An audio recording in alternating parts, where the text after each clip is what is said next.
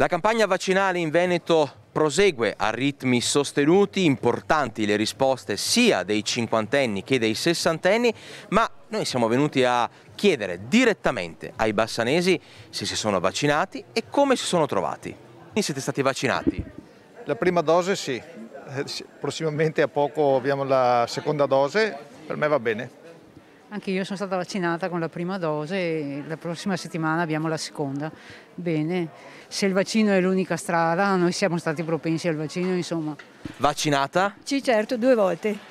Quindi ha già completato diciamo, anche il richiamo.